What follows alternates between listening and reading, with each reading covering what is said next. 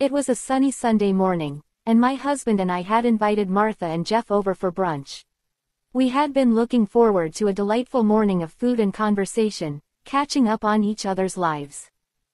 As we gathered around the table, the conversation flowed easily. We laughed at each other's jokes, shared stories, and enjoyed the delicious spread before us. But then, just as the pleasant chatter reached its peak, Jeff steered the conversation towards a rather mundane topic, the intricacies of office paper recycling. I exchanged a quick glance with Martha, hoping to share an empathetic eye roll, but to my surprise, she seemed genuinely interested. Sensing the shift in mood, I decided to lighten things up by mentioning that my spouse, Alex, was busy with household chores. Martha's eyes twinkled mischievously as she inquired about Alex's contributions. Oh, you're lucky to have such a helpful husband, she remarked. Jeff couldn't resist adding a sarcastic comment about his own household division of labor. Just then, the door swung open, and in walked Alex, dressed in a strikingly feminine outfit and holding a bowl of fresh strawberries. Gasps of surprise and admiration filled the room as Alex confidently made his entrance. Martha's eyes widened, and a smile broke across her face. It was a sight none of us had expected, but one that certainly captured everyone's attention. Martha's voice was filled with genuine appreciation as she complimented Alex on his appearance. Well, you truly are a helpful husband, Alex, she said with a playful wink. Jeff, maybe you could learn a thing or two from him about making your wife happy. Laughter erupted around the table, even Jeff couldn't help but chuckle at the good-natured teasing.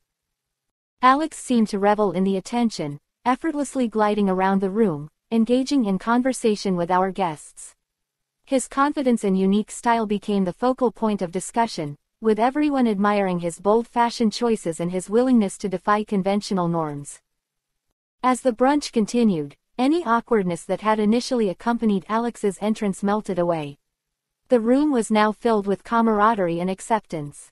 Martha and Jeff engaged in more light-hearted banter, and our focus shifted back to the enjoyable conversations we had been having earlier. Sitting back and observing the scene, I felt a surge of pride and affection for Alex.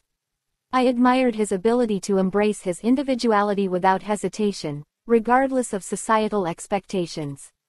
The memory of this unique and memorable gathering would stay with us, a testament to the importance of open-mindedness, acceptance, and the joy that comes from being true to oneself.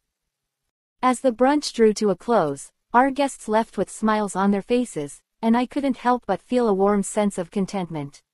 It was a Sunday well spent, filled with laughter, acceptance, and the reminder that the most beautiful moments often emerge when we let go of preconceived notions and simply embrace each other for who we are. As the months went by, our little brunch incident continued to bring smiles to our faces. The memory of Alex's surprising entrance remained a favorite topic of conversation whenever we gathered with Martha and Jeff. Little did we know, the light-hearted banter from that day would lead to an unexpected turn of events. One evening, as we sat together over a cup of coffee, Jeff suddenly brought up the subject of our playful teasing. You know, he began, a mischievous glint in his eyes. After that brunch, Martha and I had quite the discussion. Martha grinned and playfully nudged him. Yes, we did. And you know what? Jeff decided to try out being a helpful husband, just like Alex. We exchanged surprised glances, not quite sure if they were joking. But Jeff's expression was dead serious.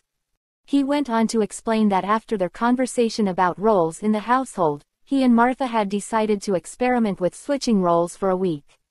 Jeff was going to take on more of the household responsibilities, just like Alex had been doing. We all laughed at the audacity of the idea, but Jeff was determined.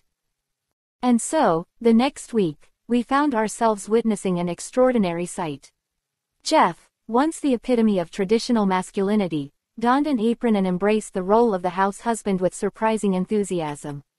He cooked, cleaned, did laundry, and even attempted a little gardening. It was clear that he was genuinely trying to understand and appreciate the efforts that go into maintaining a home. Martha was his biggest cheerleader, encouraging him with smiles and applause. She teased him about his dishwashing technique and even pretended to grade his culinary skills. The reversal of roles injected a fresh and comical energy into their relationship, and it was heartwarming to see them bond over their new experiences. As the week came to an end, Jeff confessed that he had gained a newfound respect for the work that Martha did at home. He realized how important it was to share responsibilities and support each other in every aspect of life. It was a small experiment that had led to a big realization for both of them.